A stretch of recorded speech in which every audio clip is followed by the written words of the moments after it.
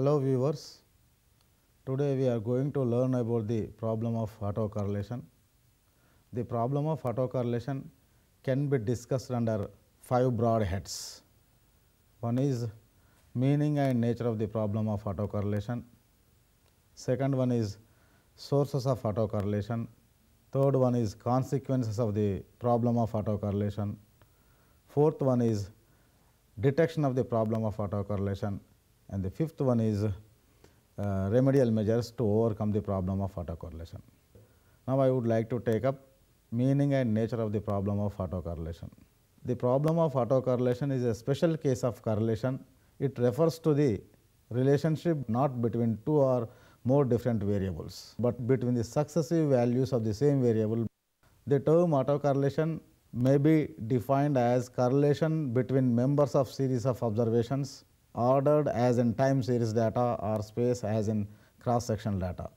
The classical linear regression model assumes that autocorrelation does not exist in the disturbances ui. Symbolically, we can say that expectation of ui uj is equal to 0 where i is not equal to j. If there is a dependence between the two random terms, we can come across the problem of autocorrelation.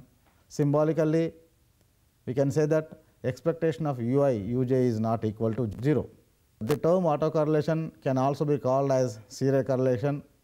Nowadays, these two terms are using as synonym to each other, but some writers uh, made an attempt to say the subtle distinction between autocorrelation and serial correlation. In this regard, I would like to quote uh. To Tintner, autocorrelation as lag correlation of a given series with itself lagged by number of time units, whereas he reserves the term serial correlation to lag correlation between two different series. For instance, U1, U2, U10 and U2, U3, U11 is autocorrelation, whereas correlation between time series such as UI, U2, U10 and V2, V3, V11 where U and V are two different time series is called serial correlation. We can uh, analyze the nature of the problem of autocorrelation with the help of the figures. We have five figures from A to E. While looking at the figures, we can uh, visualize the patterns of the problem of autocorrelation. Figure A deals with the cyclical pattern. Figures B and C shows an upward trend and downward trend. In the case of figure D, we can uh, see the linear and quadratic trend. In figure E, there is no question of problem of autocorrelation. The figure E satisfies only the uh, assumption that is expectation of ui uj is equal to 0. Discussing about the problem of autocorrelation, we are supposed to know the uh, autoregressive scheme. The autoregressive scheme in general can be written as ut is equal to rho ut minus 1 plus vt, where the value of rho lies between minus 1 and plus 1. Symbolically, this can be written as minus 1 is less than or equal to rho, which is less than or equal to 1, where rho is nothing but the coefficient of the autocorrelation, Vt is a random term which fulfills the assumptions of random variable that is expectation of Vt is equal to 0, expectation of Vt, Vt minus 1 is equal to 0, variance of Vt is equal to uh, sigma square. This scheme is known as uh, popularly known as Markov first order autoregressive scheme. If the model were ut is equal to rho ut minus 2 plus vt, it can be called as second order autoregressive scheme and so on. The complete form of the Markov first order process can be said that ut is a function of ut minus 1 is equal to rho ut minus 1 plus vt. ut minus 1 is a function of ut minus 2 is equal to rho ut minus 2 plus vt minus 1. ut minus 2 is a function of ut minus 3 is equal to rho ut minus 3 plus vt minus 2. ut minus r is equal to is a function of ut minus r plus 1 which is equal to rho ut minus r plus 1 plus vt minus r. In the second section, we are supposed to deal with the source of autocorrelation. Naturally, there is a question why does serial correlation arise? For this question, we can say that there are several reasons. Among all the reasons, some of the important reasons are inertia, specification bias due to omitted variables. Third one is specification bias due to incorrect functional form and the another cause is Cobweb phenomena and the another cause is lags and the another cause is manipulation of data. I would like to explain each and every cause in nutshell.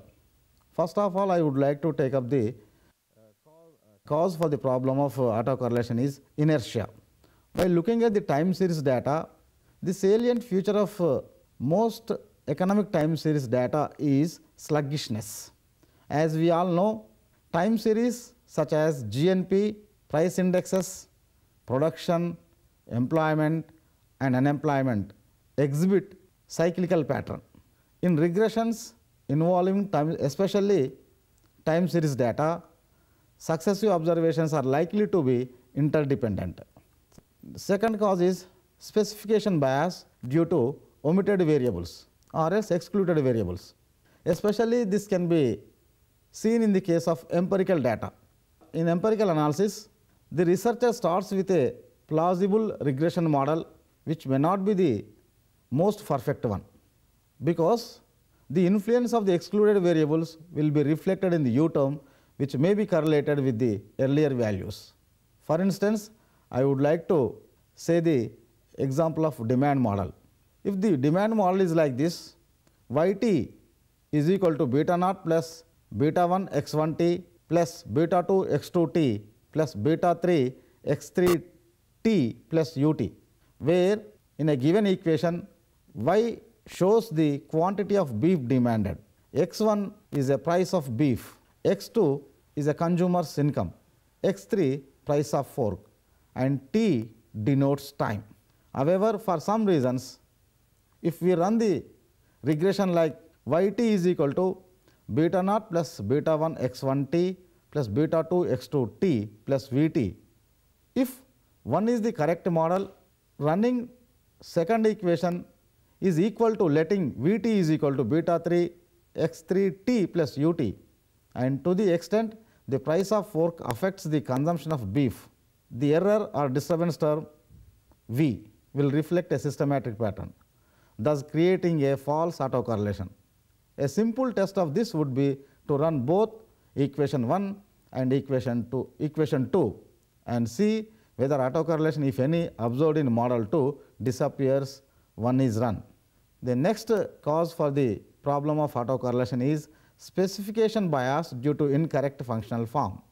While looking at the economic analysis, we can see the nonlinear relationships among the variables. But for the sake of our own convenience or, or but for the sake of simplification, we presume that there is a linear relationship among the variables. Making an assumption of linearity among the variables or between the variables, we are writing the equation in the linear form. Actually, the equation is like this MCI is equal to beta naught plus beta 1 output i plus beta 2 output i square plus ui. This we have to write, but for the sake of simplification, but for the sake of estimation, we fit the equation like this MCI is equal to alpha naught plus alpha 1 output i plus vi.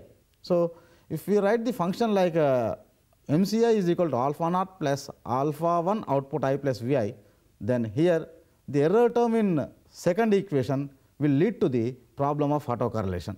The another important cause for the problem of autocorrelation is cobweb phenomena. This phenomena can be found especially in the case of supply of many agricultural commodities, where supply reacts to price with a lag of one time period because supply decisions take time to implement. Thus, at the beginning of this year's planting of crop, farmers influenced by the price prevailing last year so that their supply function is St is equal to beta naught plus beta 1 pt minus 1 plus ut.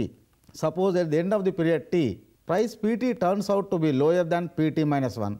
Therefore, in period t plus 1, farmers may very well decide to produce less than they did in period t. In this situation, the disturbances ui are not expected to be random because if the farmers overproduce in year t, they are likely to reduce their production in t plus 1 and so on, which leads to a cobweb theorem. Another important uh, source for the problem of autocorrelation is lags. In economic literature, we are supposed to use lags. There is a one hypothesis in, economic, in economics that is habit persistence hypothesis. This had been propounded by uh, Brown in the year 1951. As for the habit persistence hypothesis, Ct is a function of Ct minus 1. This equation explains about the current year's consumption depends upon previous year's uh, consumption habits because consumers do not change their consumption habits frequently because of uh, psychological reasons or technological reasons or for that matter institutional reasons. In such cases, if we neglect the lagged term which results the error term and in a way it reflects a systematic pattern due to the influence of the lagged consumption on current consumption. Another important cause for the problem of autocorrelation is manipulation of data. Sometimes due to paucity of data, we resort to interpolation or extrapolation of data. In, in light of this, I would like to quote one example. The census of population is con conducted every 10 years in this country. The last being in 1980 and the one before that in 1970.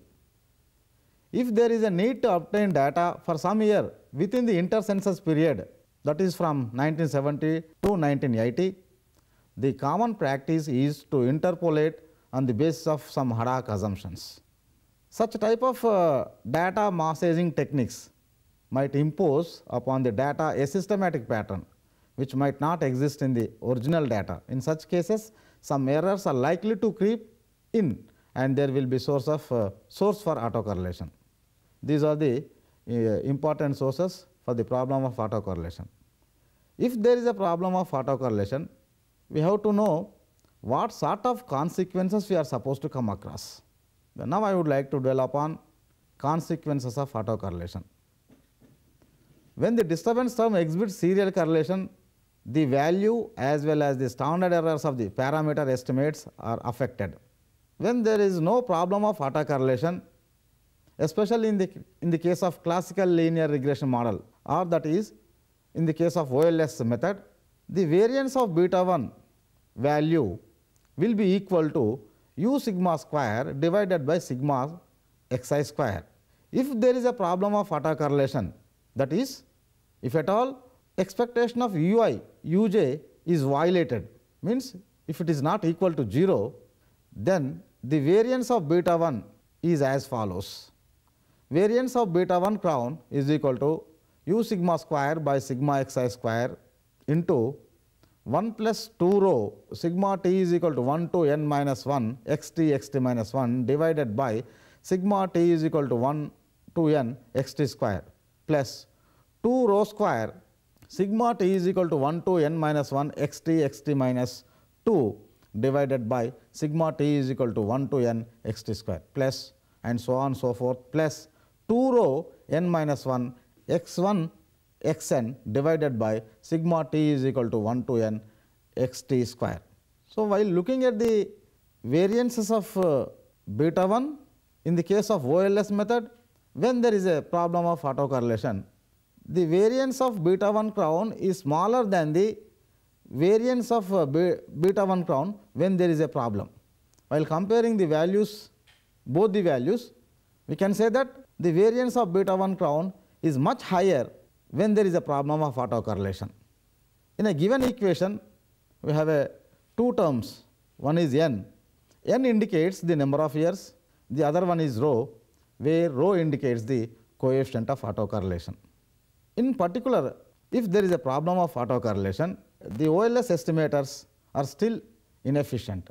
Apart from inefficiency, the confidence intervals are unnecessarily wide and the tests of significance will become less powerful. If we disregard the problem of autocorrelation and continue to apply the cl classical OLS formula, the consequences are very serious, especially the residual variance sigma crown square is likely to underestimate true sigma square Even if true sigma square is not underestimated, the variances and standard errors of the OLS estimators are likely to underestimate the true variances and standard errors. As a result of A and B, T and F tests of significance are no longer valid if even if applied are likely to give misleading conclusions about the statistical significance of the estimated regression coefficients. OLS estimators although unbiased become sensitive to sampling fluctuations. And finally, if the values of u are autocorrelated, the predictions based on ordinary least squares estimates will be inefficient due to the large variances of the estimates. Then uh, if there is a problem in a given data, our bounden duty is to detect the problem of autocorrelation. In order to detect the problem of autocorrelation in a given data, in econometric literature, there we can find two important uh, ways to locate the problem of autocorrelation. One is graphical method, the other one is tests. Between these two, first of all I would like to dwell upon graphical method. In the case of uh, graphical method, there are 10 figures. In the first figure, there is a trend pattern of the data. In the second figure, we have a two regression lines. One is sample regression function, the other one is a population regression functions. First figure and second figure do not deal with the uh, problem. Simply these two figures will show about the nature of the data and nature of the regression lines.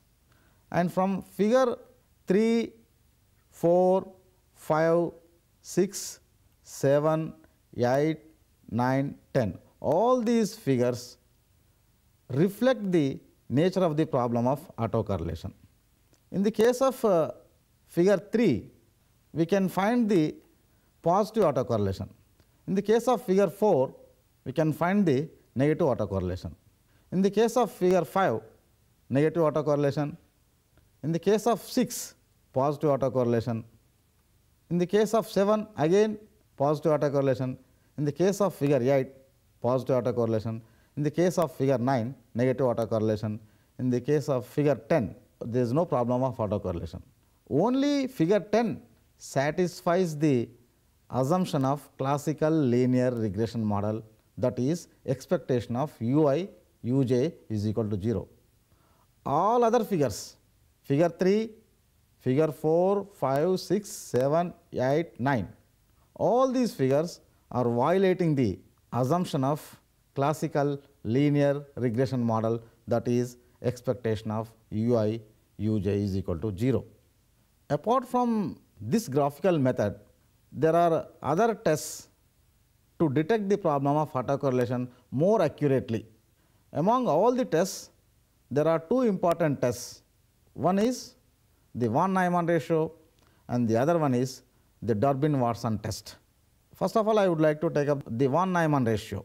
The von Neumann ratio can be defined as dou square divided by s square x is equal to sigma t is equal to 2 to n x t minus x t minus 1 square divided by n minus 1 all divided by sigma x t minus x bar whole square by n. Actually, von Neumann ratio uh, is not so popular because this test is only applicable to detect the problem of autocorrelation when there is a uh, large sample means uh, if at all n is greater than 30. Therefore, this test is not popular. The alternative test to detect the problem of autocorrelation which is a very popular one is uh, known as Durbin-Watson test. This test popularly known as the Durbin-Watson D statistic. This test is uh, appropriate only for the first order autoregressive scheme where ut is equal to rho ut minus 1 plus vt. This test can be conducted as follows. For example, we have to make uh, two hypotheses.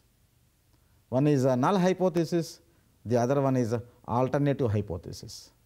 Null hypothesis can be denoted by H naught where rho is equal to 0 which means the u's are not autocorrelated with a first order scheme. This is tested against the alternative hypothesis that is H1. H1 where rho is not equal to 0 in the sense the u's are autocorrelated with a first order scheme. To test the null hypothesis that is H naught, we use the D statistic that is D is equal to sigma t is equal to 2 to n E t minus E t minus 1 whole square divided by sigma t is equal to 1 to n E t square. By doing some mathematical manipulation or else by expanding the equation, we will get the results like d is approximately equal to 2 minus 2 rho. By simplifying this, d is approximately equal to 2 into 1 minus rho crown. From this expression, we can say that the Durbin-Watson d values lie between 0 and 4. If at all rho crown is equal to minus 1, d will be 4. If rho crown is equal to 0, then d will be 2. If rho crown is equal to 1, then d will be 0. When d is equal to 4, we can say that there is a perfect negative autocorrelation where rho crown is equal to minus 1. When d is equal to 2, then there is no autocorrelation if rho crown is equal to 0. When d is equal to 0, then there is a positive autocorrelation where rho crown is equal to plus 1. This can also be depicted with the help of a figure.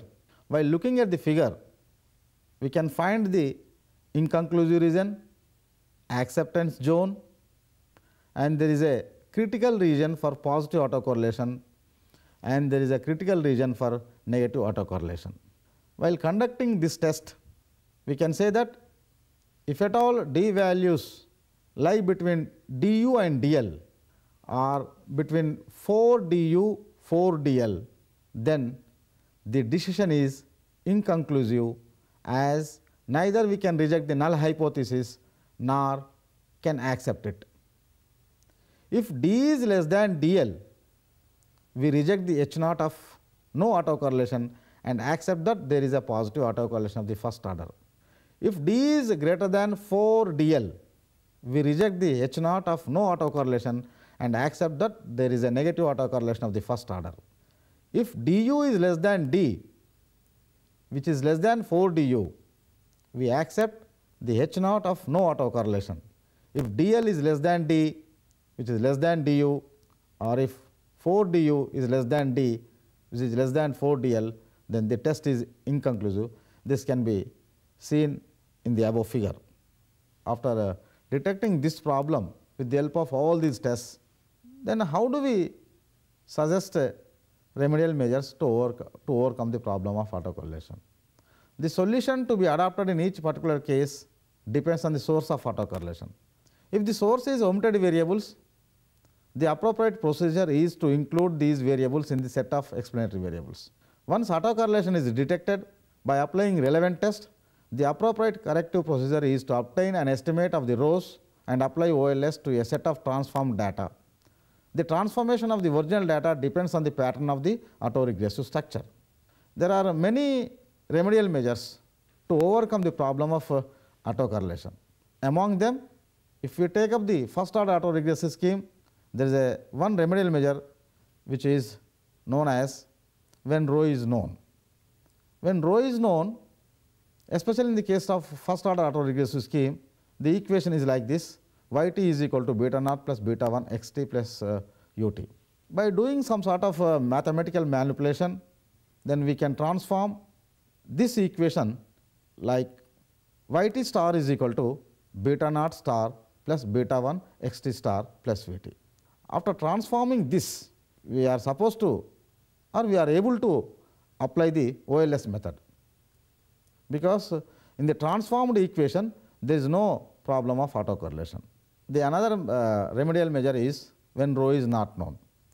When rho is not known, its value lies between 0 and plus or minus 1. If rho is equal to 0, there is no question of serial correlation. In the other extreme, rho is equal to plus or minus 1. If it is a plus 1, we can say that there is a perfect positive If it is a minus 1, we can say that there is a perfect negative autocorrelation. The another remedial measure is rho based on Durbin-Watson D statistic. The another remedial measure is iterative procedure to estimate rho. Actually, this method is an alternative to estimating rho from Durbin-Watson D is the frequently used Cochrane-Orcutt method that uses the estimated residuals ET to obtain information about the unknown rho. The general procedure is to stop carrying out iterations when the successive estimates of rho differ by a very small amount say by less than 0.01 or 0.005. In practice very often 3 or 4 iterations will suffice. And another remedial measure is Durbin two step method of estimating rho. Durbin has suggested the two step method for estimating rho which is applicable only for any order of autoregressive scheme. So far we learned uh, first order autoregressive scheme and the second order autoregressive scheme is like this ut is equal to rho 1 ut minus 1 plus rho 2 ut minus 2 plus vt. Here the regression equation is like this yt is equal to beta naught plus beta 1 x 1 t plus ut. Then by doing some sort of mathematical manipulation we will get equation 2 and equation 3. After getting 2 and 3 we have to subtract 1 minus 2 minus 3. Then after uh, subtracting 1 minus 2 minus 3 ultimately the transformed equation is like this yt star is equal to beta naught star plus beta 1 x 1 t star plus vt. After transforming like this then we can go for the application of OLS with which we, we can overcome the problem of autocorrelation. Aitken's generalized least squares. While concluding this, I would like to say that we examined so many methods to overcome the problem of autocorrelation. All these methods for estimating rhos are known as are known in the literature as feasible or estimated generalized least squares EGLS methods. Among all the methods to overcome the problem of autocorrelation, the more efficient and general in its applicability is Durbin's two-step method.